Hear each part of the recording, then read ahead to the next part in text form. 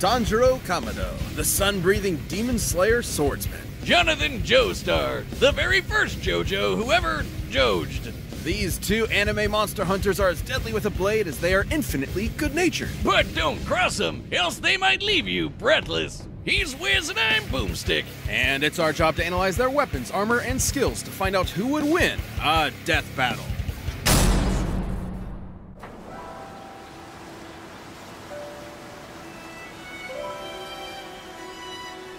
Step aside! I've sworn to slay all of Dio's demonic minions. I don't know who you are, but you better leave her alone! You poor wretch, shackled by the chains of this harpy's insidious mind control. On my honor, as a gentleman, I will free you! Oh, uh, I'm sorry, sir. Did you bump your head?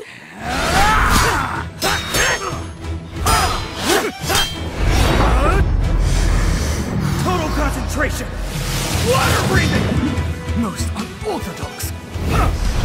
You fight with valor, noble swordsman, but I know the burning passion of my heart will carry me through! Aw, he's kind of adorable! like a puppy! I wonder if he has a caretaker nearby.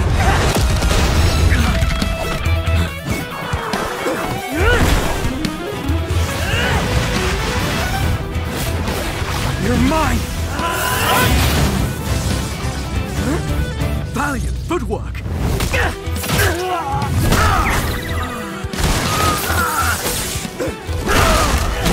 You will fall! Nino!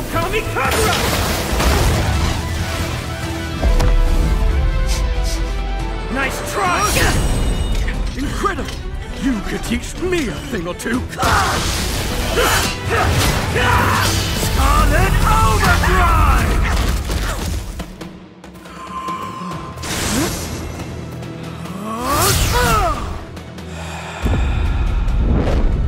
His breathing is carrying some kind of energy. Like me. And that means I know how to stop him.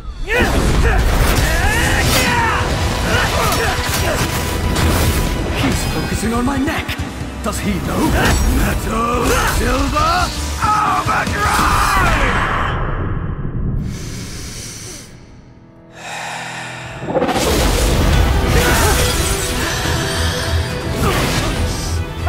you!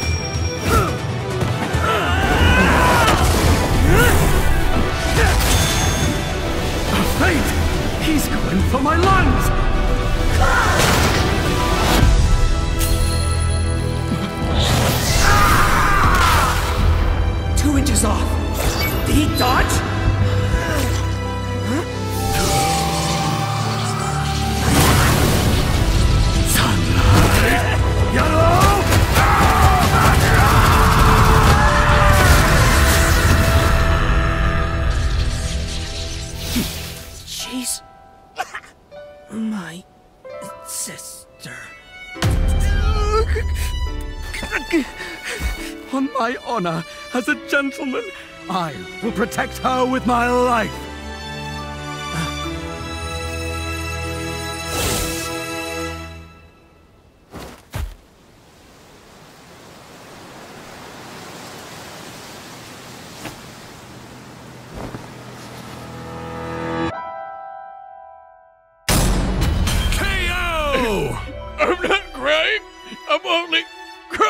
Really hard. Holy shit, hold me, bro. Please don't touch me. On paper, Tanjiro did initially seem to have more advantages in this bout.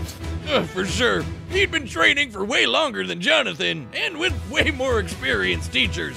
Tanjiro's Demon Slayer journey took place over a couple of years, while Jonathan's Ripple training was less than a month. Tanjiro was obviously a superior swordsman with a variety of powerful techniques and katana magic, while Jonathan really only improvised as a swordsman. But that's where the advantages stop. Sure, Jonathan wasn't a natural swordsman, but he more than made up for it in hand to hand combat, while Tanjiro was pretty much out of options without a blade. Jonathan also had an edge in strength. Comparing Tanjiro to Doma and Jojo to Tarkus, Jonathan was over twice as strong. And while Tanjiro later fought the more powerful Muzan, Jonathan did the same with Dio. He was way faster too. While Tanjiro and his pals could dodge lightning, we can compare Jonathan to other Ripple users like Joseph, who could dodge light, which is over 3,000 times faster. That might seem crazy, but in Part 3, Dio was able to keep up with stands like Star Platinum, which can move faster than light. Dio did this on his own, and that was while using Jonathan's body. Even with multiple ways to predict Jonathan's movements and see the flow of his ripple with X-ray vision, Tanjiro would not have been fast enough to keep up. Especially with the ripple backing him up. Sure, the water and fire Tanjiro generates is impressive, but Jonathan was tough enough to power through it. Tanjiro, though, had no way to defend against the ripple bypassing his durability and directly messing with his organs. Such as manipulating his muscles like a puppeteer, or directly shutting off his brain or heart,